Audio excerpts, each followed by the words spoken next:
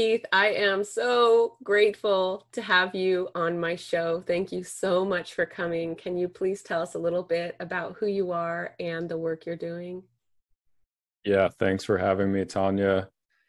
So, I'm Keith, and I work doing psychedelic integration coaching, which is helping people prepare for uh, psychedelic experiences, helping people integrate the experiences, which is to bring the meaningful um, and actionable aspects of it into their normal reality. Um, and to understand you know the to the extent that it's understandable the psychedelic experiences that they're having which can be very jarring or destabilizing or um, confusing because there's so much going on. It's so foreign to our normal daily experience. And especially people without experience in that domain, um, it, you know, it's, it's so foreign, it's so different that it can be really helpful to have some guidance to help understand uh, what is it that I really can what's the most that I can get out of this because there's there's always so much to get out of it. Mm-hmm. I think that even with just using the word integration, it's not nearly enough to talk about how many different levels of meaning integration actually has. It's like you can define it on so many different levels of our waking consciousness do you find that true i mean because it feels like on a larger scale it can it's something okay this is where i'm trying to go it yeah. feels like with plant medicine psychedelics on a larger scale it really wants to work with you and but it wants to work with you if you're willing to work with it like are you ready to step up hand in hand? Like it's a complete joint effort. So on one hand it seems like you have integration on that spectrum and then on the other it goes down to a spectrum of just everyday life and um, living in more grace which i just I, have to say i've always wanted more grace in my life and i didn't ever think it was possible and this is where we're starting to see a huge shift with grace and flow yeah, yeah, I'm seeing that as well in my own life and in the unfolding of this whole psychedelic renaissance that's happening. And I think you're right to speak to the the um, you know the spectrum that integration can exist on because really I, I think at the highest levels it's the work of life is to integrate ourselves to bring all of the aspects of ourselves into harmonious orbit. And that that is the work of life. It it's the work that takes a lifetime. And so the the psychedelic integration is you know uh, maybe a microcosm of that or one aspect of that where we're integrating these numinous experiences into our being um, and I love what you're saying too about the idea of integrating with the medicine itself. And because it is, it's it's a dance. It's you really have to allow yourself to to dance with it, to to flow in the river and not try to paddle in the other direction. And because you'll get capsized, um, it's it it can be extremely overpowering if you're not allowing yourself to move fluidly with the experience. So it really is you're integrating yourself with the medicine, what it is trying to show you, and what you are opening yourself up to be receptive to. Um, and yeah, it's it, it really can be and should be a beautiful dance. So, um, you know, I started this podcast about transformation, and you know, it really led me to um, asking a lot of people who are doing work in the psychedelic realm because there's nothing been, I've, I have not discovered anything as um, fast, rapid, um, as incredible as what can happen in this in this realm. Uh, what I wanted to kind of break down for people because I think it sounds a little bit large for some people that haven't um, been introduced to this subject. Can we talk a little bit about um, the changes that it, it may ask you to do or may you may need to step up into in regards to healthy eating, in regards to the relationships in, in our lives and in regards to the work we do? Yeah. Yeah. So and you can also use like examples of maybe stuff that you've seen because I know we're all so unique. It's like we're all such unique soups and there's definitely that difference there. Yes. Yeah.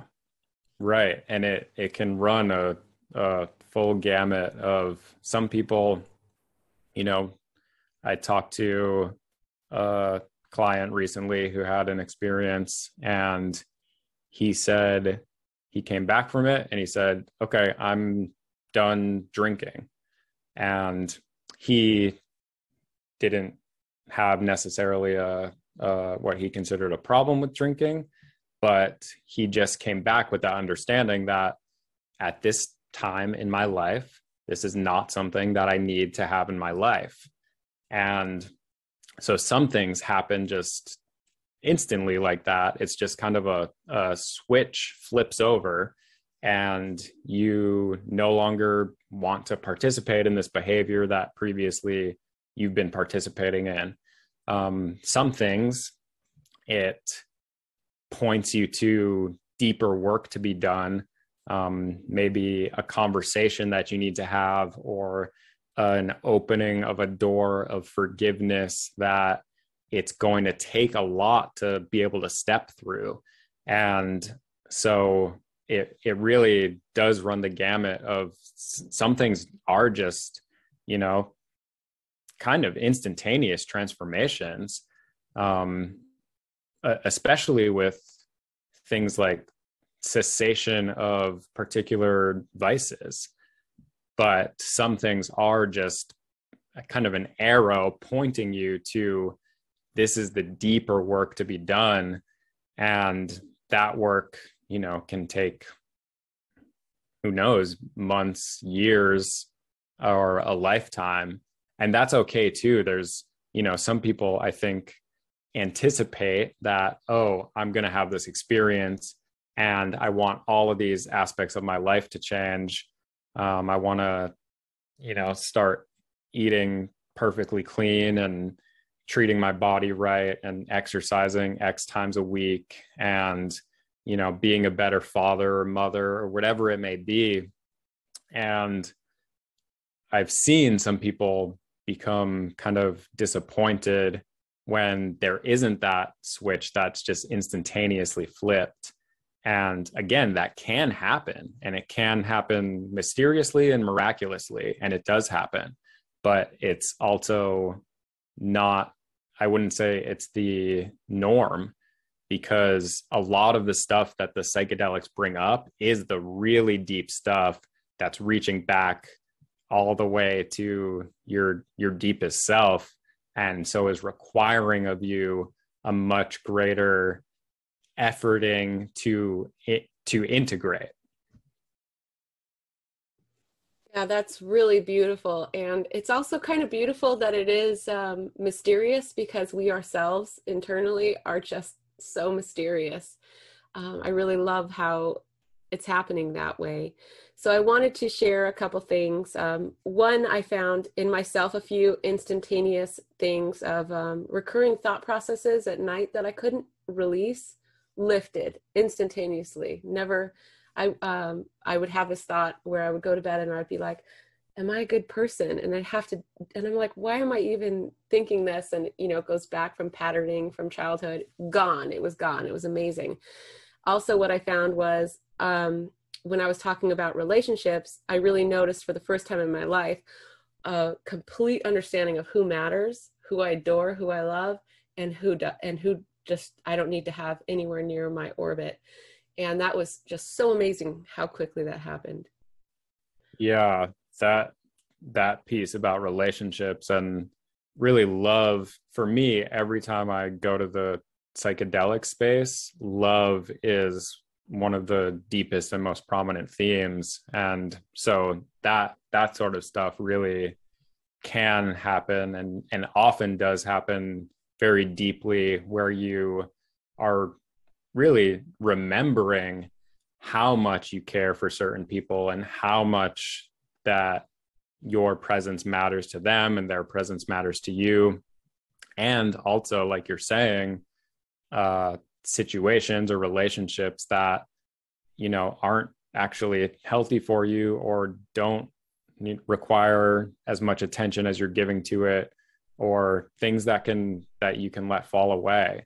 So that's cool to hear you speak on those things.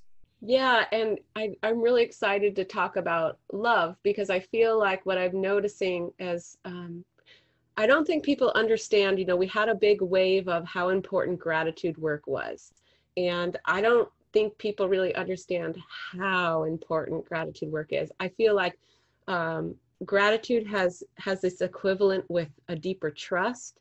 And if we spend our lifetime doing gratitude work, I feel like you know we move through psychedelic experiences easier, but we will also move through death a lot easier.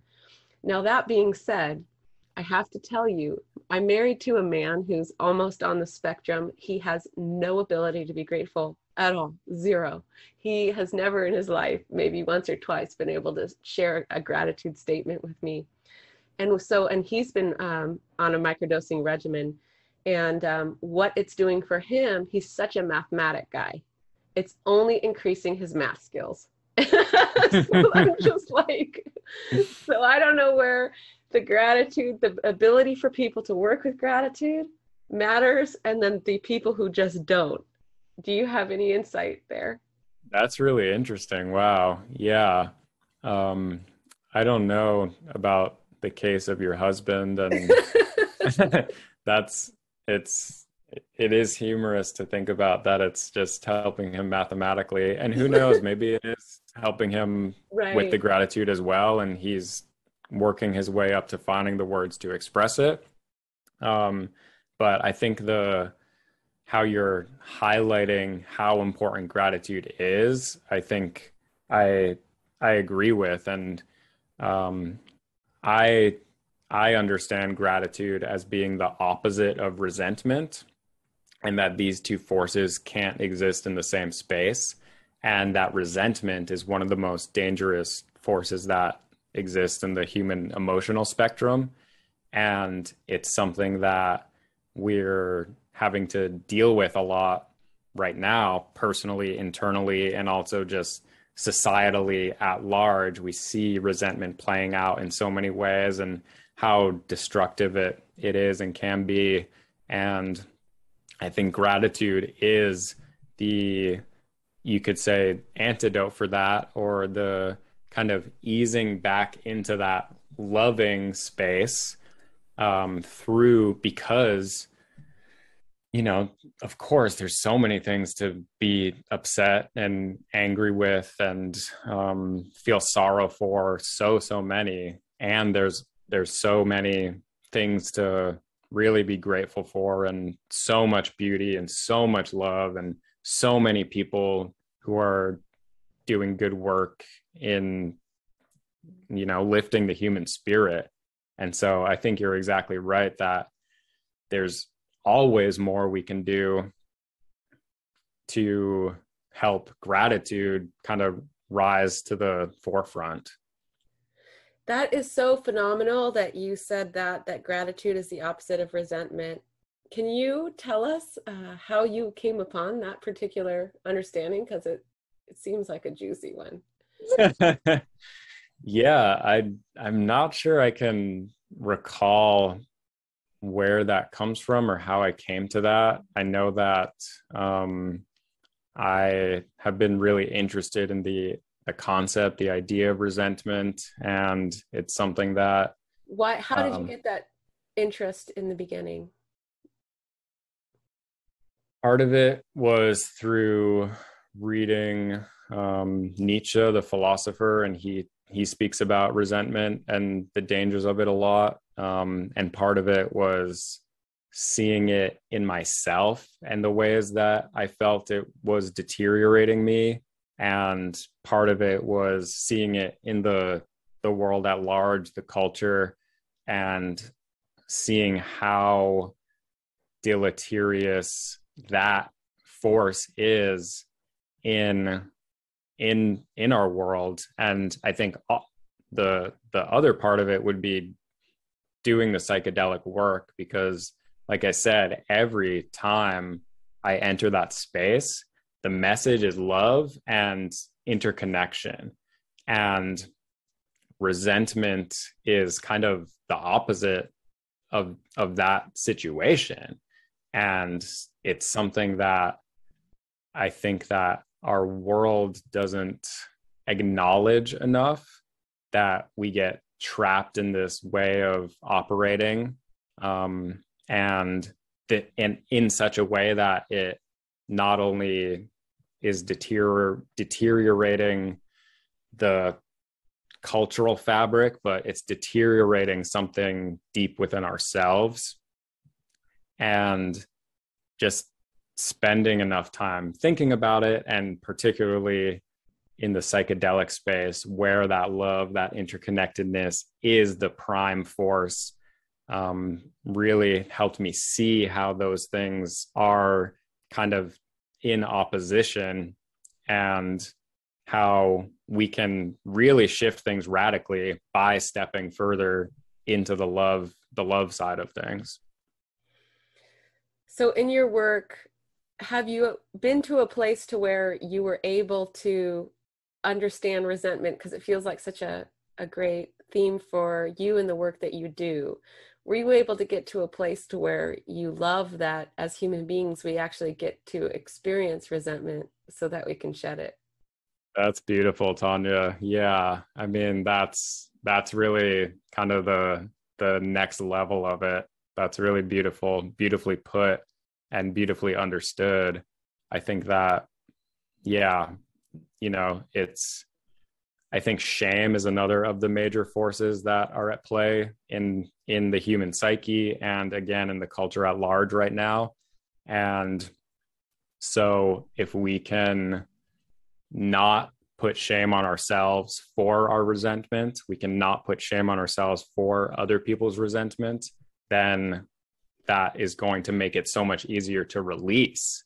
And exactly what you said, like even loving that we have the capacity for resentment because that is also it is if if we've been betrayed or we've been hurt or traumatized or whatever it is that that resentment serves a function that is important so yeah i think that's just so beautifully said and important to bring up that we can love even the aspects of ourselves that we might deem the most dark.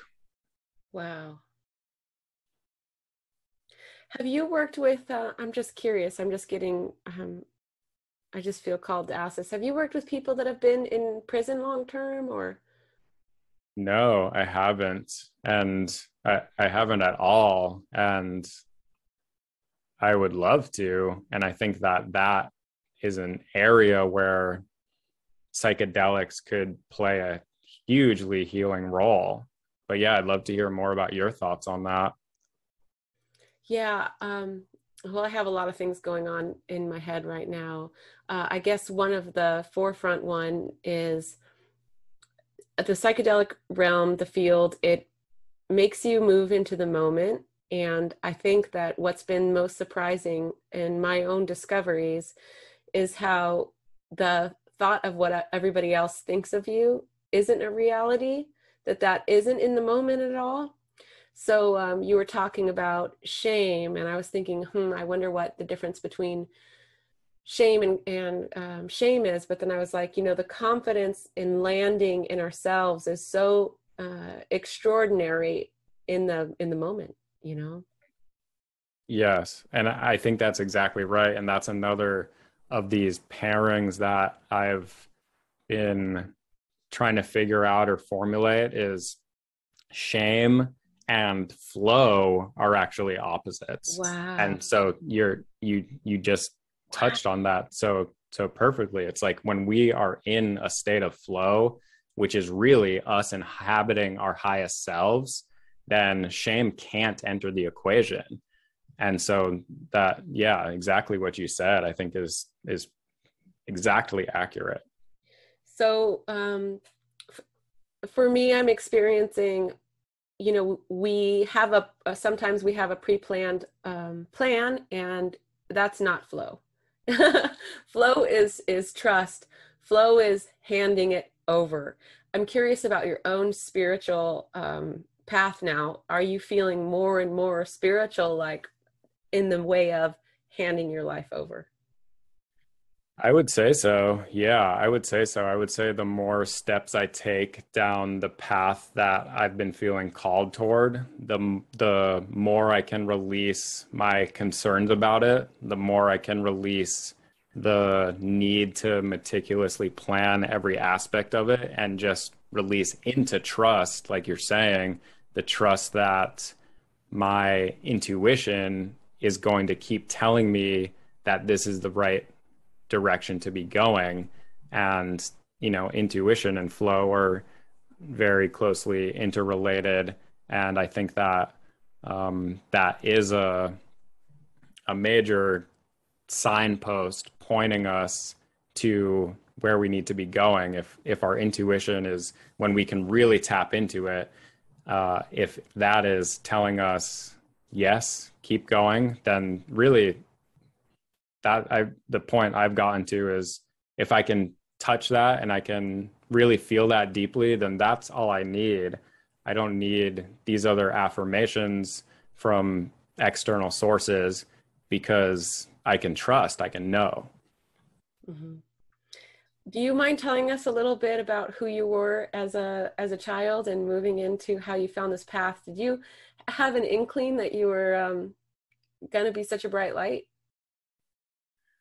I don't know. I mean, I I felt very joyous as a child and uh and very free.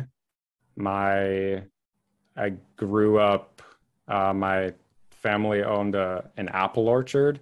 So I grew up kind of in that that situation of of just running free through the trees with my brother and with friends and feeling you know feeling very connected to to that all and to nature um and so that that i think really set me up for you know versus i don't know what it's like to grow up in a city with all of the bustle and all of the noises and you know different energetic pulses and all of these different things that you know i live in a city now and that stuff affects me.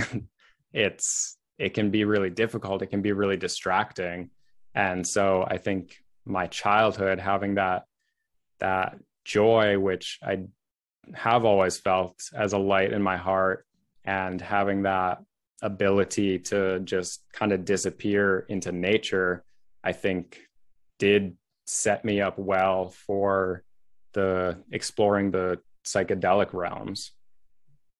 Wow. And um, did you have a particular experience where you found it and then you were like, wow, this is really something that I'm in love with? Did it take a while or?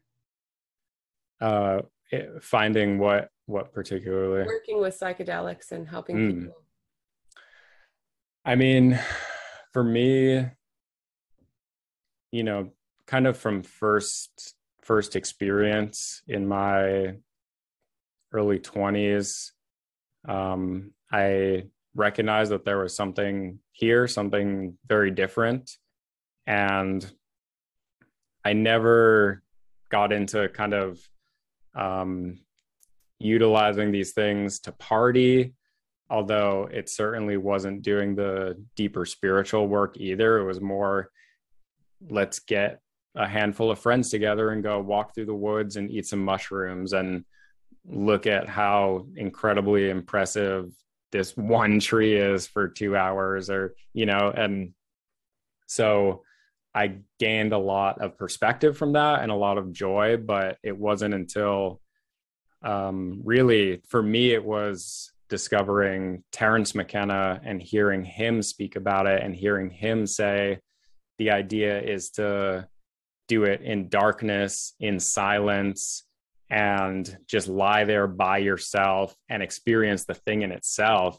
And that really awakened something in me of wow there's five grams? Wasn't that yeah and yeah that was his five grams in silent darkness was his line. And you know yeah that's that's a, a, lot. That's intense especially being by yourself doing that. So did you do it? Oh i've done that. Yeah. Um and i i think there really is you know to me i don't put judgment on the different uh, approaches or the different modalities. I think it all, as long as you're treating it with respect and you understand what you're getting into, I think it it all has a space. I think you know, taking a couple grams of mushrooms and dancing to music in a big group of people can be a beautiful, ecstatic, healing experience. Or you know, taking five grams by yourself with your eyes closed, it just, you get different things out of it. So if you're by yourself, then there's no social dynamic that's there at all. Even if you're, you have a guide sitting for you, there's still that part of your brain that's aware that, okay, I'm in a social situation. Mm-hmm. Um, but if you're by yourself, the social dynamic is removed entirely from it. And then if your eyes are closed, the visual field is removed entirely from it. If you're in silence, the auditory field is removed entirely from it. And when you strip all that away, then then which is what Terence said, you get to experience the thing in itself. Right. And that is it's so profound that uh I think it's with proper preparation and so on and so forth, I think it's worth exploring that. Wow. You were talking a little bit about, you know, the city noise and my question is is that it feels like I don't know if it's what's happening with, you know, everything being in retrograde. It feels like there's a split with people that they're really resonating with high vibration things and then really having an intolerance for other things. So is that true with you? Is that you really know it's like you get guided in your everyday life like this is for me, this is not for me. Is that what you're feeling? To some degree, certainly when I'm in tune, when I'm in touch with myself. Um, but I certainly fall prey to the so-called lower vibrational things too and getting distracted and watching YouTube for hours and all of these other things that um, are kind of can be seen as an escape from the the spiritual work. Mm-hmm. And so I think it's a balance and I think I think one of the reasons that people are kind of exiting cities more and more so these days is because you know the more distractions you can remove from your field then the clearer your lenses are going to be. And the clearer your lenses are going to be then the better you know better human being you're going to be the better you're going to treat yourself and others and the more seriously you're going to take your serious work and the more joyfully you're going to participate in your play. And all of these things just i think become easier to step into authentically yeah, I love that you said that. Okay, so we're talking about in this great psychedelic renaissance, um, you know, people are kind of moving back out to, out of the city, but also we're in the midst of this great resignation where a lot of people are leaving their careers. So I think that is in line with what you said about clearing that lens. So we, while we're having this great resignation that on its own kind of derived from COVID, from uh, you know just the world, is kind of separate from the psychedelic renaissance. But I think it's just going to add to it because people are really like, I don't know, what is it feeling to you like people are like, wow, we only have one life to live,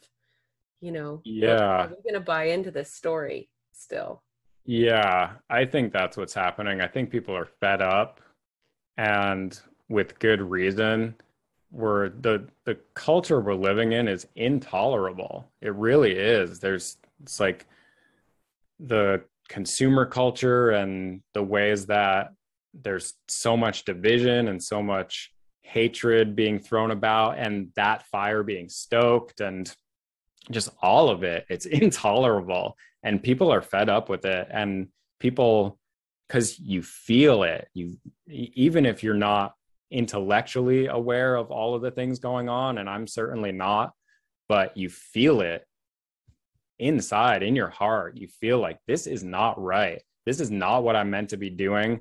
I would rather have to figure out how to make an income uh, than continue to work this job that's destroying me and and sucking my soul. And you know i would rather go out and live in the woods and be maybe have less access to every kind of restaurant and all of my friends in order to escape the barrage of advertisements and noise and high rise apartment buildings and you know traffic and all of these other things that just wear on us i think people are fed up and rightly so and if we can channel that fed upness into creating the beautiful the more beautiful world that we want to inhabit then we're going to be just fine Yeah, that's really beautiful. Slam dunk. Yeah. so, would you like to tell us a little bit about the work you do? Yeah. What does it look like, and um, what type of people do you tend to um, work with? Yeah. So, for me, it's really anyone who is ready to take the psychedelic work seriously, I am thrilled to work with because I take it really seriously. And to me, serious doesn't mean severe because there's joy in it as well. So I think it's joyous work, but it's also very serious. Absolutely. Because this is, you know, this is, like I said earlier, this is the work of life, integrating our ourselves bringing our highest self into existence and psychedelics are such a great pathway into that um, so you know i i have worked with people who have no experience at all who are preparing for their first ceremony or people who have you know many ceremonies under their belt or journeys under their belt. And some people are still trying to make sense of and integrate an experience they had years ago.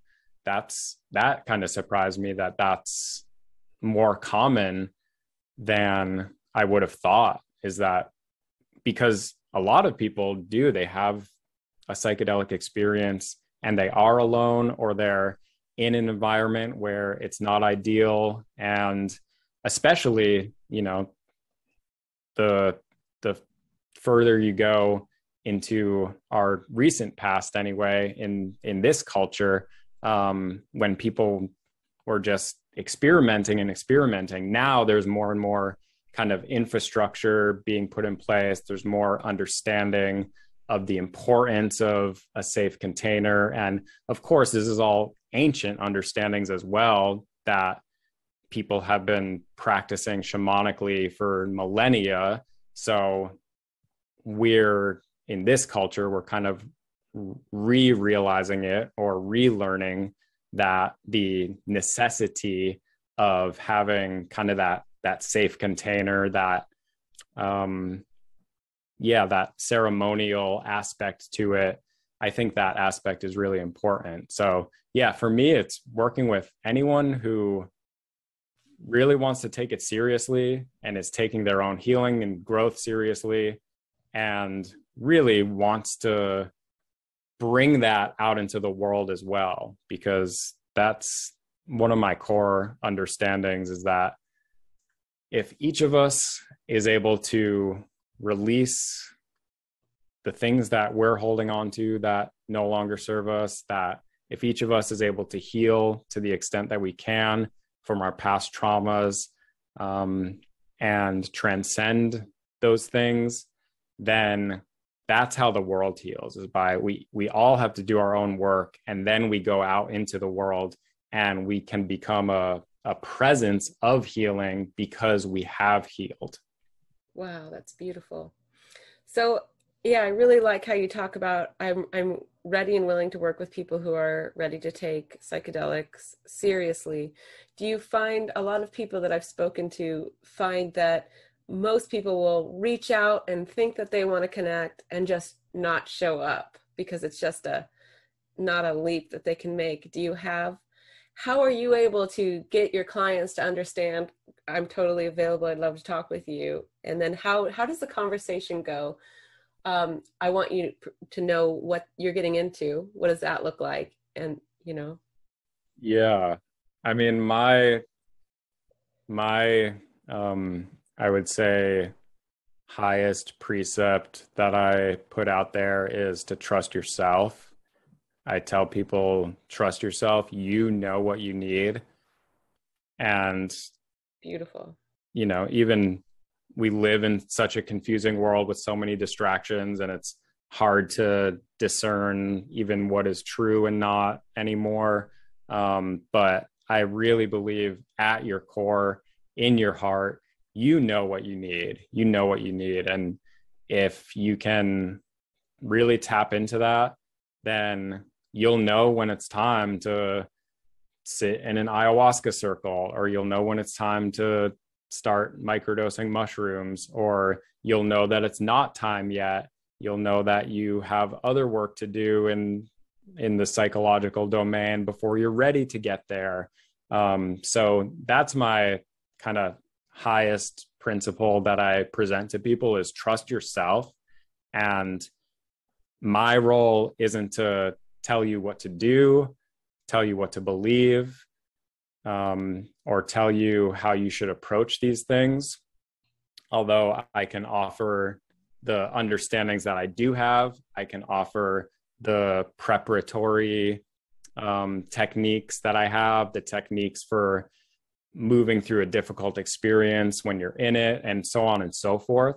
But it's not my role, nor really anyone's, to say this is what you should do, when you should do it, how you should do it, and what your belief system should be when you're doing it. Because each person knows, each person knows what they need. Wow, that's really beautiful.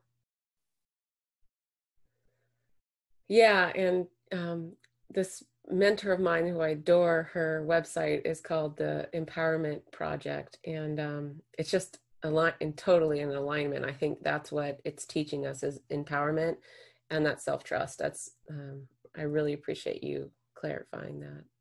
Yeah, yeah, and I think empowerment, encouragement. If we think about these these terms, um, to encourage someone is to help them find courage. To empower someone is to help them find power. And these things are within us all. We have our own power, we have our own courage, and we just kind of have to delve through the the dark forest of ourselves in order to you know pluck it out and look at it and put it on and inhabit it but we all have it within ourselves so that's that's really I, I agree that that's kind of the the process is to empower and encourage to allow someone to find their own way to the courage the power that they have inside them mm-hmm. so i'd really like to get on the record i'm so curious about this um, sometimes there's we go through things and let me give you an example. I know a woman who you know is a cancer survivor and it was really a rough journey and so she'll really associate her identity with i had cancer i had cancer. And i was on the beach today and i saw a, a vietnam uh, vet and i know because it was plastered all over himself like his identity was that war.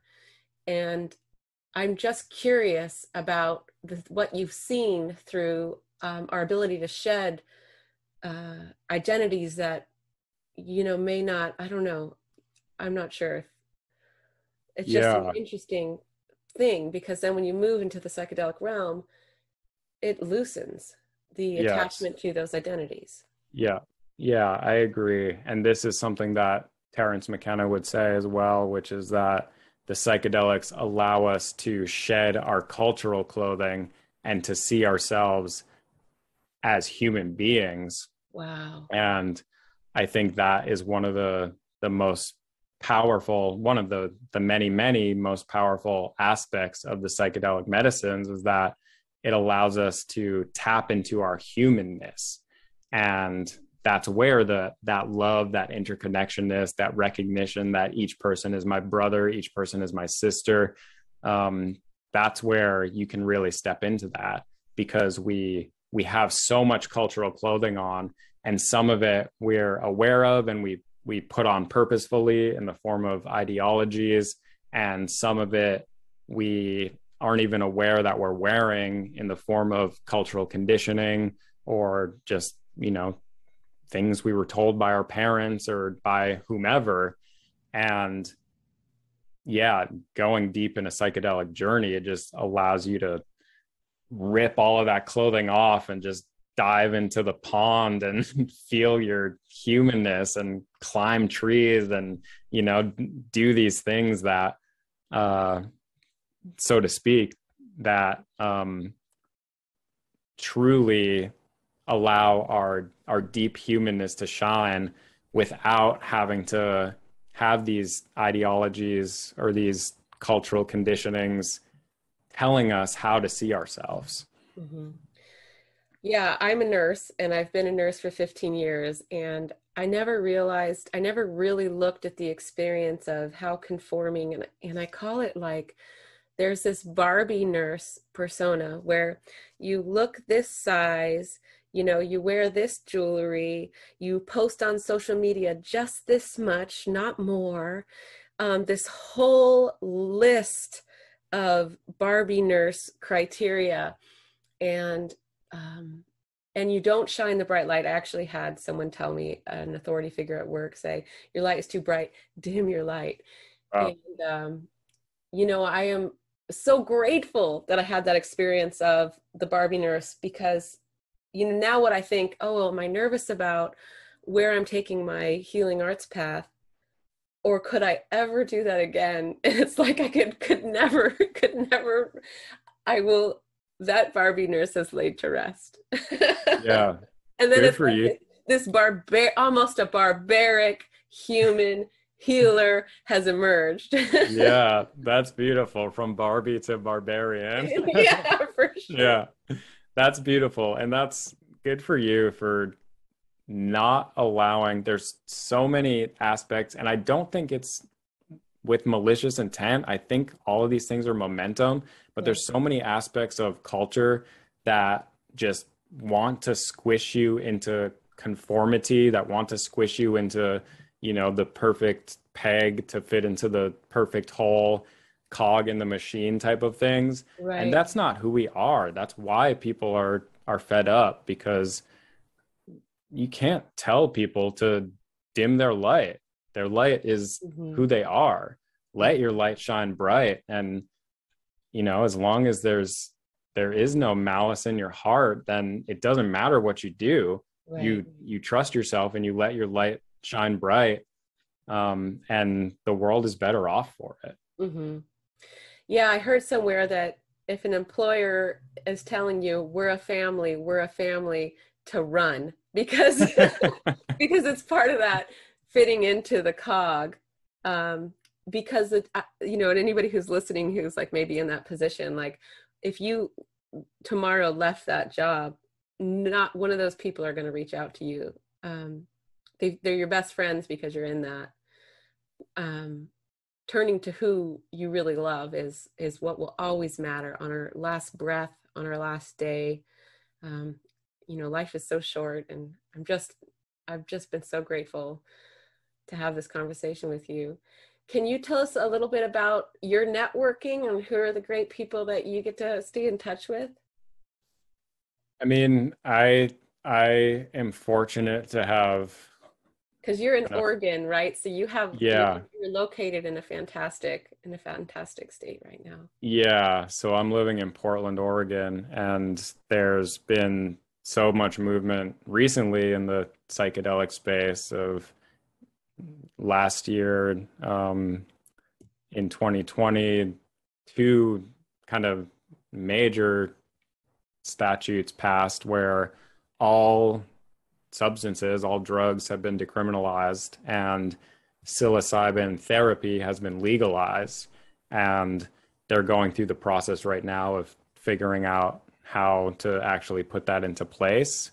But it's it's amazing. And so people out here are for the most part very open, very transparent about where they stand and their work with psychedelics. And I I am very much myself. I think that it's part of my work is to wave the flag proudly.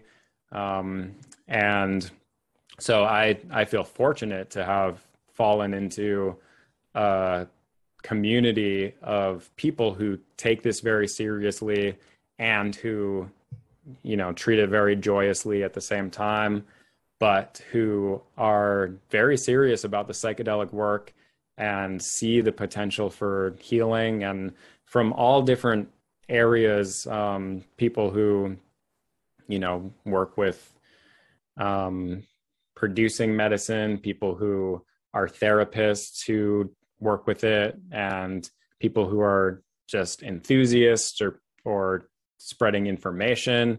And it it takes all of that. And so yeah i feel very fortunate to have kind of fallen into a really supportive community where it's not rivalrous either where i really believe there's enough space for everybody to step into this who wants to and we don't need to step into a rivalrous position where you know i'm trying to be walmart and you're trying to be amazon i think that's not that's not that's against the the point of it um so yeah, it's it's very supportive and it's very again taking it very seriously because this is serious and it's time. We don't have time to to keep wasting or time to keep twiddling our thumbs. The world is on fire and this psychedelic renaissance is happening now for a reason. So it's time. Yeah, and you know, we weren't there. We weren't alive in the 60s. Um, and i'm curious if it felt this this beautiful if it felt like um i'm just curious in proportion because nothing can ever repeat itself exactly as it was so it's interesting to feel this opening now um you know i just as a, as if a lotus flower and it's almost like it's happening on that the original um, birth and death of the original renaissance and the original yeah. research and the original enthusiasm. So, um, you know, we don't always learn from history, but um, I sure hope that that we're careful. You know. Um, yeah, yeah. It seems that's the way that that's the way things are going, and it seems that at least right now the government structures are recognizing to kind of step out of the way a little bit and let this unfold and the people are recognizing that we should do this properly so that the larger culture is open to it and not afraid of it and it seems like it, all of these things are happening at least right now in a really promising way it was interesting to have the so much talk so much obsession around the shutdown of uh, facebook and instagram yesterday and then previous to that on NPR, there was a whole um, discussion about how bad Instagram is for our youth.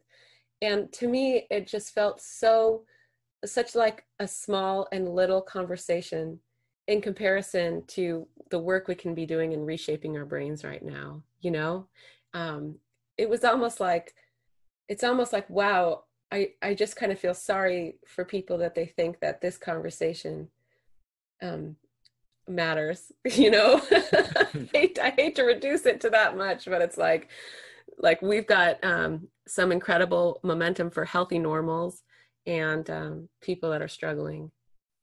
Yeah. And it's going to take, like I said, I think a lot of this stuff is just momentum that nobody is actually at the helm directing things. It's like Facebook doesn't understand what they're doing.